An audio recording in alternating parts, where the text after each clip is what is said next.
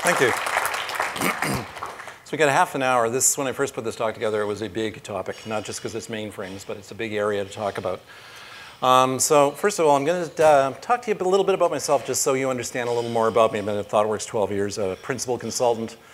I'm Canadian, I live on Vancouver Island. These are things that are in, of interest to people, and uh, I've been working in the areas we talked about. But for over 10 years, I worked in rehabilitation with people with severe disabilities and worked in research before getting into IT. Um, I think experiences like that color the way I see the world and colors how I think about problems. So I think those sort of uh, bits of information are very important for people to understand. So, um, COBOL gets a bad rap. Um, these are very common quotes and how people feel about COBOL within uh, the high-tech industry. We think, uh, you know, that we use the word legacy a lot. We don't like it. In fact, I get asked by uh, people in our company, they ask me things like, uh, why do you work in this area and why don't I do something useful? Um, and actually, I get questions like that, which throws me off. So people badmouth, especially green screen applications. Um, it kind of hit me one day. I was doing some Node.js work in VI, uh, plugging along, and I looked down and I realized that the VI editor that I love so much is a command line text editor written by Bill Joy in 1976. You know, and I, I realized right then that Frampton had just come alive in my command line. You know, so um, I'm not going to start bad mouthing uh, systems like mainframe systems or green screen systems because if it's durable and it's good, there might be something there. Um, there's the right way to build software. We all talk about it. You know, you got your test first, you got your CI, you got your integration working, your pipeline right through to production. Ops is right in there. Everybody's doing well. You know, you're Freddie Mercury at Wembley, 1986. And that's, you know, how we all are. Does any, anybody in the room have a situation like that? That's what they're working in? If anybody put up their hand, I was going to make sure they bought drinks for everybody else in the room because I don't think that's the reality. Um, the point is, um, we talk about legacy systems, but if you think about Twitter and how many um, fail whales showed up uh, during the early days, was that suddenly a legacy application uh, because it wasn't doing what it meant to do? Was it fit for purpose is the question we should have been asking. So legacy has nothing to do with technology or platforms I'm discovering. Um, I'm going to talk about COBOL and why it's relevant in our world and why we should pay attention to it. That's uh, Google in 1999. Um, yeah, they're kind of nerdy back then too. Um, COBOL systems, we can compare to the big things like Google and Amazon. These are big things. COBOL is big. I'm going to give you some stats, take them with a grain of salt because it's difficult to quantify how big COBOL is in the world in mainframes. But Google is everywhere. I'll agree with that. However, it is estimated that 60 to 75% of the world's transactions happen on COBOL mainframe systems. Um, we use them every day. If you use a credit card, you're probably interacting with a COBOL system. If you sometimes go through traffic lights in major cities, you're probably talking to a mainframe somewhere. Um, if you're in insurance, if you are uh, getting a prescription filled, a good chance that you're dealing with a COBOL mainframe system somewhere underneath the covers. You might not see it. Um, I do about 10 to 15 searches a day, mainly for you know pho places and places that I can buy Thai food. Um, but the average American is estimated to uh, interact with the COBOL system 13 times a day. And we're talking about things like credit card transactions in banks. Um, Amazon recorded about 27 million sales in their last peak uh, holiday period. Google serves now over 5 billion searches a day. COBOL transactions account for 30 billion transactions worldwide, and that's a very conservative estimate. So these are big systems, they're part of our ecosystem, we live with them. And lastly, Google has hundreds of millions of lines of code. Um, it's estimated somewhere between 180 and 240 billion lines of COBOL are running in production today. Um, it's also estimated the average COBOL developer is supporting between 2 and 5 million lines of production code. So these are things we should care about. Um, if you're a little worried about that number, actually, that's kind of in line with C++ and Java numbers as well. That's, the order of magnitude is quite large worldwide. So what does this mean? Um, what does this mean to us? First question is, why don't we replace these systems? Everyone says, let's just get rid of these systems. I lost something. There we go. Why don't we just get rid of these systems? And, you know, that's, that's you know, the strangler pattern is what we talk about. Let's just dump these systems. Let's put something in we like, something we enjoy, you know? Well, that's Les Twins, by the way. If you search on Les Twins and dance, you're going to see some amazing videos of these guys who dance. Um, replacing a COBOL mainframe system like for like is a problem. You're going to go and do a business case like this. I want to replace this with a technology I like. Let's suppose you're a Java guy. I'm going to replace it with Java, and I'm going to spend years doing this, and I'm going to spend a lot of money, and we're basically going to have the same thing we started with, except it's going to be in something I like. uh, it's very difficult to do a business case and get investment for something like that. Also, these systems cost, replacements cost tens of millions of dollars to billions. Uh, all you have to do is do a little research on how often people have tried to replace Sabre and also look at the years of effort and the organizations and the businesses that have been stuffed trying to do this type of work. And lastly, there's a high likelihood of failure. Uh, the US Postal Service considered rewriting their COBOL-based system with 15 years of legacy information in it, as they called it then. They realized that was core business logic and they just replatformed instead. Um, these large systems have decades of additions. Uh, there's workflows are embedded into them and they're part of the DNA of a company um, and you spend hundreds of millions of dollars and you don't get a lot of return for replacing them. So mainly, especially in the fields of uh, finance and insurance, people don't replace these. And lastly, with these big integrated systems within companies, there's something called muscle memory that I think about with systems. Um, that's Martha Graham. I think she's universally considered to be the uh, 20th century's most important dancer, and she's the mother of modern dance to many people. She can do that movement because of muscle memory. She's trained over and over and over again, repetitious uh, movements, to eventually she has, can do them with a, without conscious effort. In fact, if she dances while she thinks, then she actually can't do it. She has to let go, let her muscle memory take over, and she can do the dance. Years later, dancers can replicate uh, movements like that because of muscle memory. I think large enterprise systems like this imbue muscle memory into the companies that they're in, into the organizations they're in. Uh, the people have muscle memory from using it. Uh, teams have muscle memory from using it. And lastly, the whole organization's processes evolve organically with the systems over time. It's not just a matter of putting business logic in, but it changes the way information flows in the company, the way people communicate, and the way people talk. So if you're talking about replacing a large system like this, you have to think about that factor. And lastly, I've come to realize that legacy is a myth. Um, that was uh, UFO spotted over uh, Italy in 1960. Uh, apparently, it was to do with John F. Kennedy, the first Catholic Pope, uh, the first Catholic president uh, being uh, elected president, and the Pope and the aliens somehow all coming together. So I think there's a lot of legacy there uh, as well.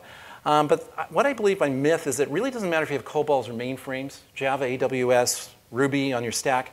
I think the question is, is it fit for purpose? Is this system doing its job and is it fit for purpose? if the answer is yes, if the answer is truthfully yes, then the next question is how do we invest in this system and how do we take advantage of that?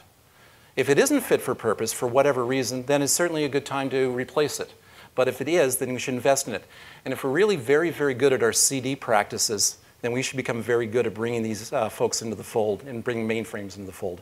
So I've stopped using the word legacy. I think this is the heart of CD, growing the tent, making it bigger, and bringing other, other types of technologies, other types of thinking on board and uh, improving.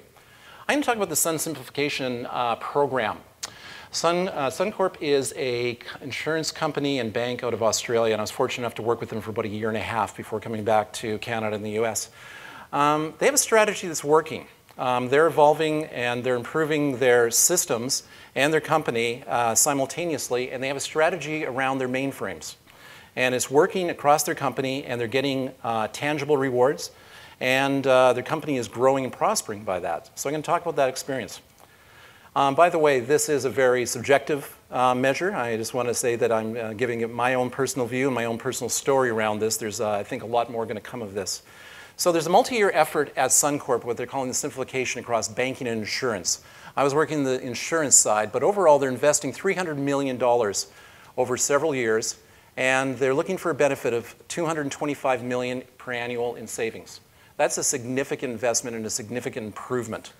And in the insurance side, their, uh, their margins increased after the first year of the simplification program by, we're talking in the neighborhood of 1%, which doesn't sound like a lot, but when you look at the scale and the size of an insurance business, that is a number you want to pay attention to.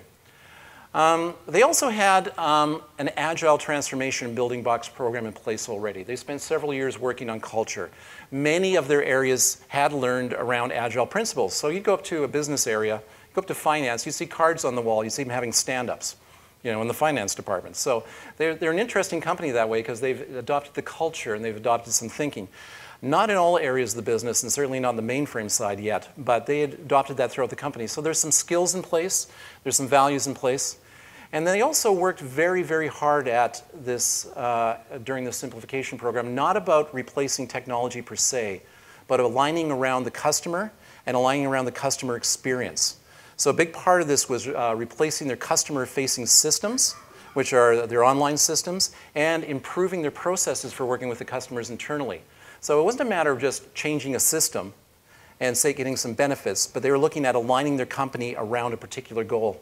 And lastly, they took on a strategy of saying, we're going to retire 14 systems, 14 uh, mainframe systems, and pick a uh, bet and bet on one system and invest in that. So if you look at the whole life cycle of explore, grow, sustain systems, and retire, they took one off sustain and moved it back to invest. And the rest of the systems are on track to be sustained and eventually discarded. So that is a very clear clear um, goal and a clear strategy that's working for them. Simplification, cleaning up, and alignment. There's nothing wrong with having a mainframe system. Probably not good to have 15 of them. So that's what they were looking at. So this program is ongoing, and I was working on the program team as the test manager originally and working through the test plan. And the mainframe team uh, was running into some troubles in getting traction in this program. When you have hundreds of people working on a program, very complex, if you've ever worked in one of those big internal programs, and a lot going on, um, they were getting a little lost in terms of their ability to get going and get some traction. So I went down as delivery manager to work with them. And uh, when I showed up, we had about six to seven months to production, and a feature hadn't been done yet. So things were a little bit, people were starting to get a little nervous. So I showed up, and um, I was embraced and loved as soon as I walked in the door. Um, they uh, couldn't wait to see me. Um, and the reason why is uh, they were doing very well, thank you very much in many ways, and they've been doing very well for a lot of years. And suddenly this agile guy shows up.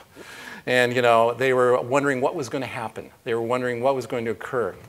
And one of the things I had to do right away was start to learn about listening and adapting.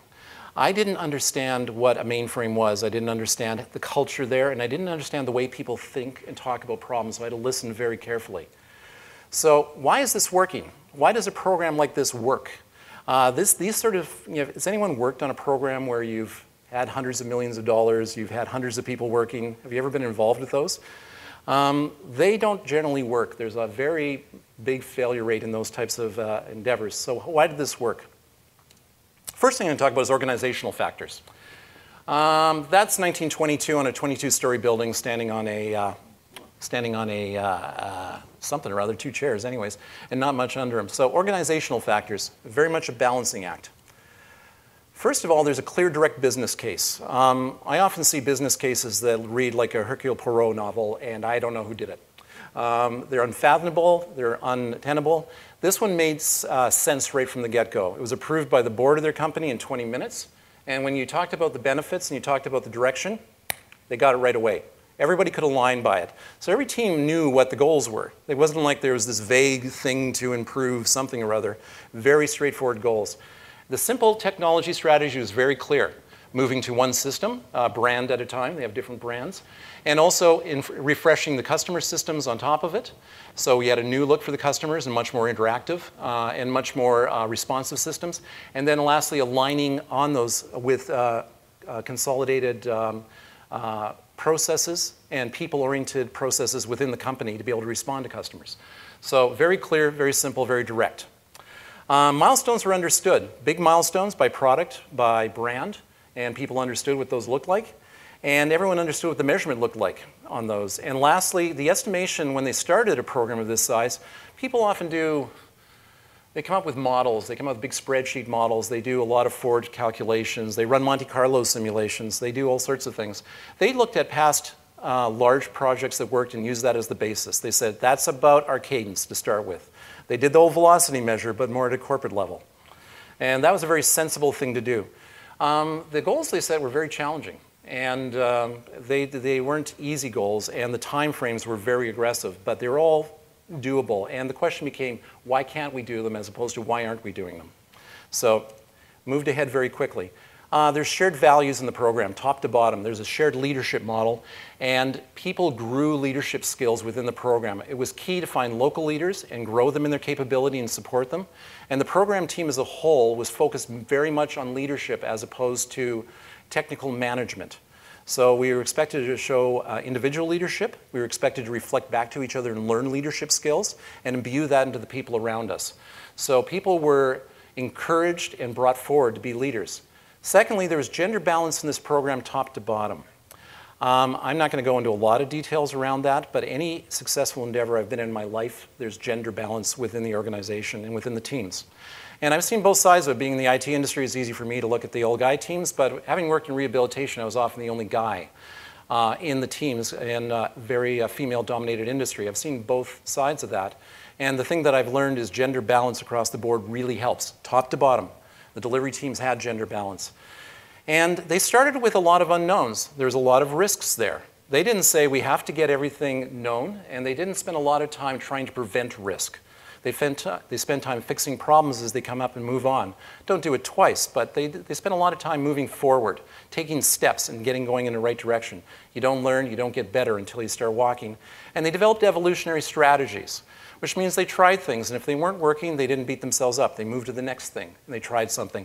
If things were working and they were suddenly slowing down or they're not getting the metric returns, they would improve things. Things like card walls, things like program walls, interacting with teams. The Scrum of Scrums whole process with uh, 20 teams was reworked I don't know how many times till we found something that worked.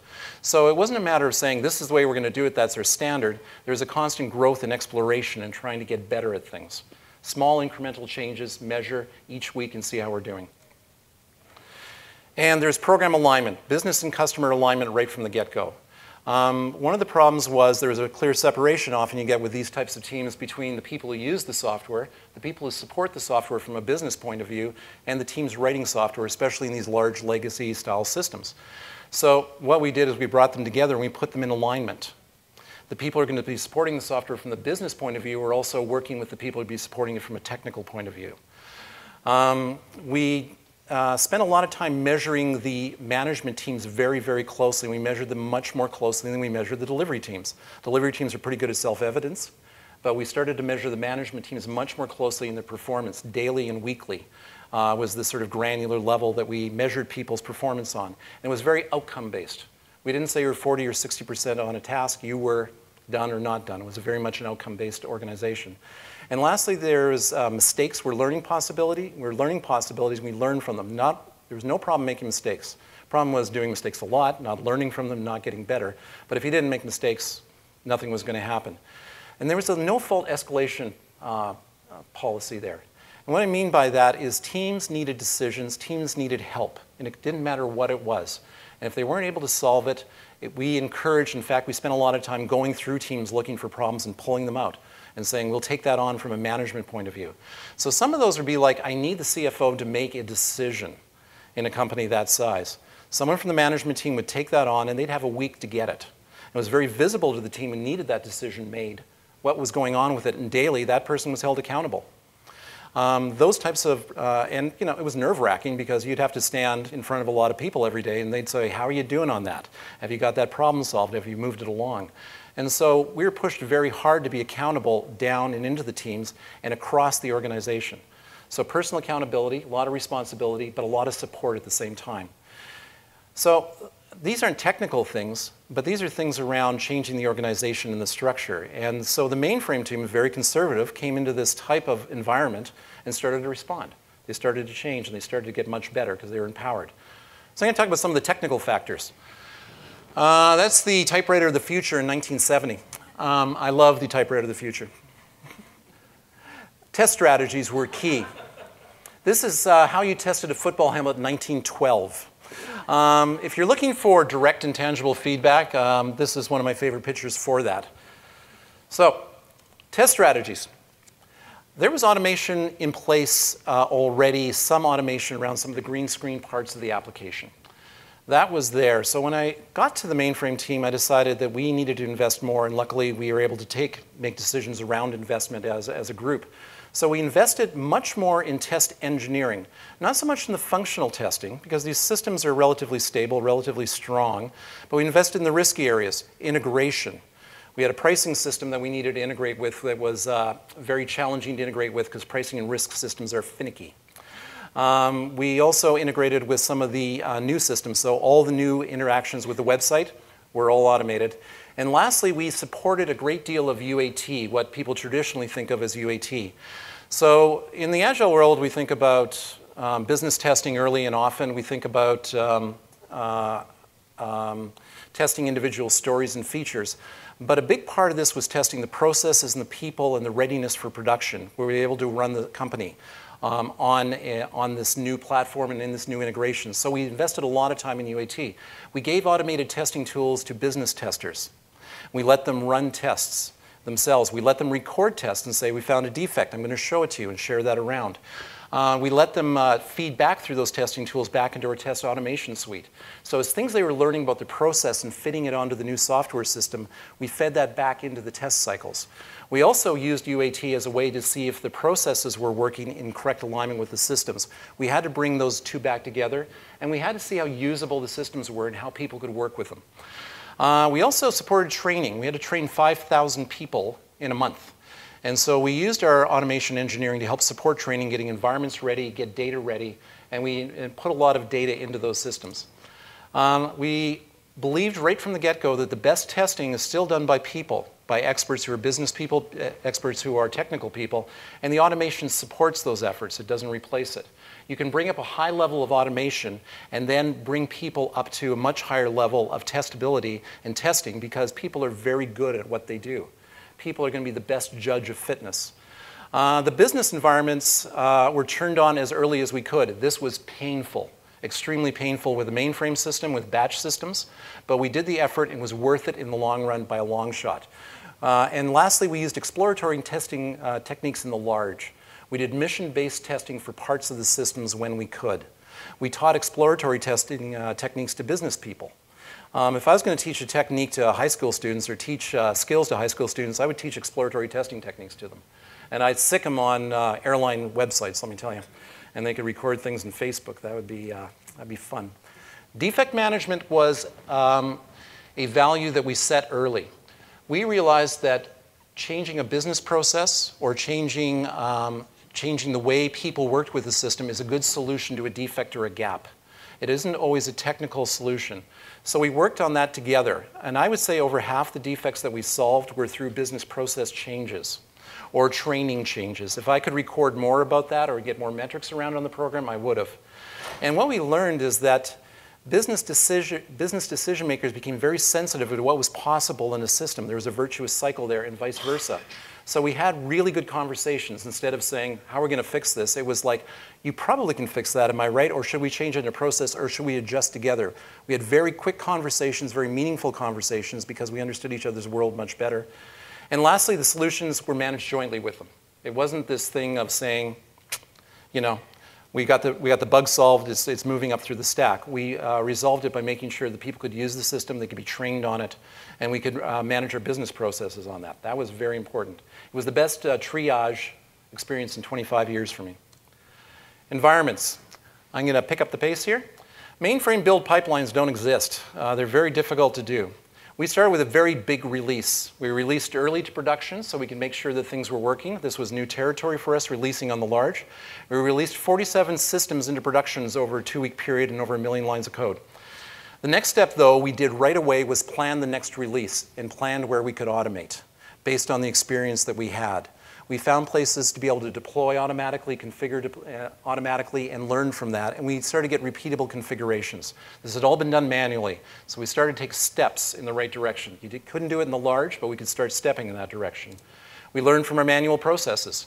Uh, the manual process is the friend of you, and if you don't have to automate everything, you should look at those processes first.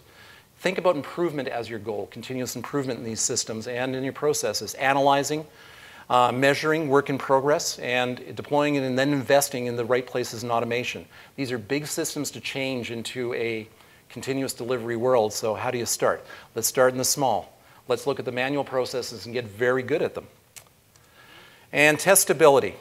Um, that's the London double-decker bus tilt test. Now that's feedback for you, baby. Um, CD investment. We spent a lot of time, and I learned something about language and understanding here. The team wanted to replace a key section of code that was funky, no other way to put it. We had a lot of technical debt in one area. They wanted to spend a lot of time improving that, and on a very tight schedule, I was going to, on a six, on a, well, four months of uh, development, I was going to take the best developer we had and turn it loose for six weeks onto this problem. Um, and it was not a decision I was comfortable with because of the tight time frames we had. I had to make a decision. The, the lead developer came up to me and he said, well, we're going to deploy it. It should work probably for most of the upcoming systems that we're uh, going to be working with. And we'll have new features there, but we don't have to turn the features on right away. And I went, bing. And I realized what they were talking about was feature toggling. And I'd been listening with the wrong ear. I'd been listening with uh, a prejudiced ear, if you will. And I realized what they're talking about by feature toggling, and I suddenly realized that is an easy decision for me. This is a good practice. It had to translate into another system how we thought about the problem, how we attacked the problem, but it was the same principle.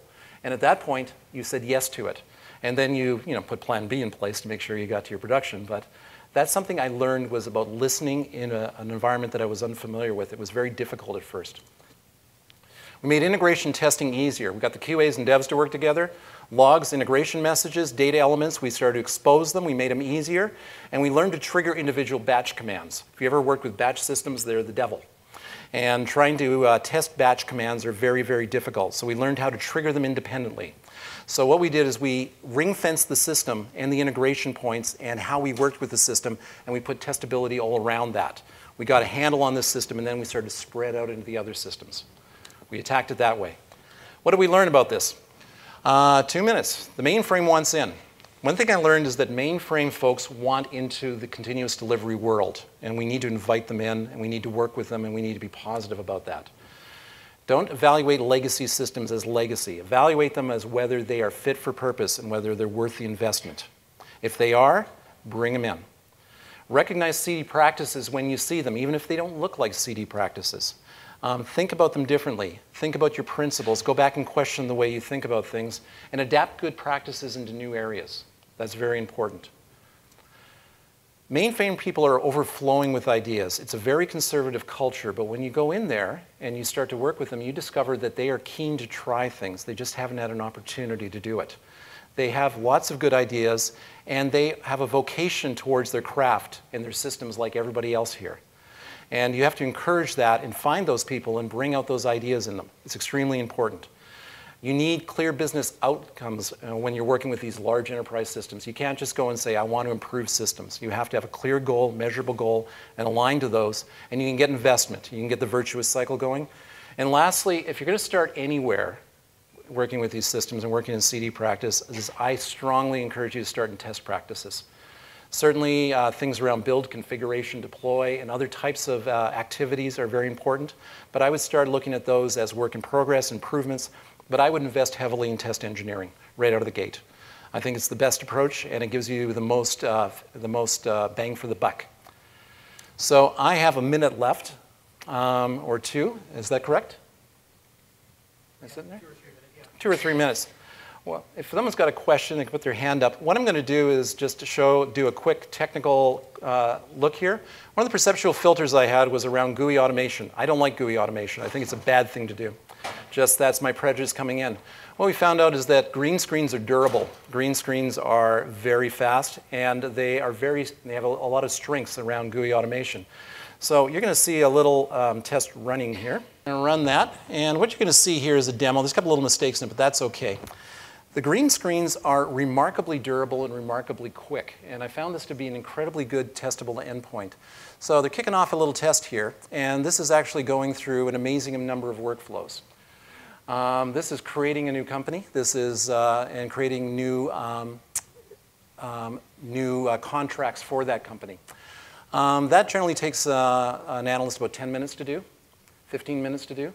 And what we discovered through this was that green screens are amazingly fast and amazingly durable, not just like not just the systems themselves, but testing them is very fast. So what's going on in the bottom is jobs are running, and they're waiting for the jobs to run, and then they're kicking off batch jobs to run in the background, which is quite remarkable. So what we were doing was for supporting UAT testing, because we had this type of capability, we could set up 500 to 1,000 policies anytime we wanted for UAT to run. We could set up uh, training environments with thousands and thousands of policies for people to learn from. But what we found, and we use Concordion, so I'm going to stop it right there. Um, this is just an example of some of the uh, Concordion output. But I was very surprised that GUI test works so well on a mainframe environment. Uh, we, we didn't uh, think it would, but we put a lot of time into the test engineering and working with the system to make it work properly. So when you look at through those systems and that type of speed, um, you uh, need to work with the strengths of the mainframe system. And the testability and the testing of the mainframe system can be done in different ways, and the automation can be done in different ways. Normally, I wouldn't attack a system through a GUI, but I learned that the programs and the GUIs are very well aligned to each other, and they're building blocks in each other. You can take a program and a GUI screen and put them together and build them into very virtuous blocks of testing, so it was quite something. So anyways, I'm sorry I didn't set that up properly in the slide. I'm uh, terrible at slides, obviously. And I've run over my time. So if you want to catch me in the hallways and to talk, I'd be happy to talk with you more. It's been a pleasure talking to you today, and I hope to see you soon. Thank you very much.